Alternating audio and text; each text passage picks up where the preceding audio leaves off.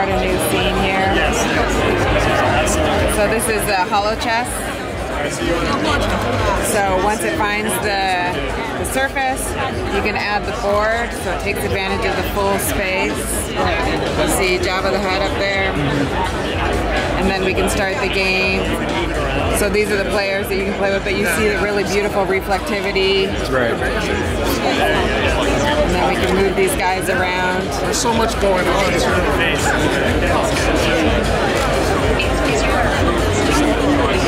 So it's just really an immersive experience where it's bringing everything, you know, to a 3D space that you didn't have before.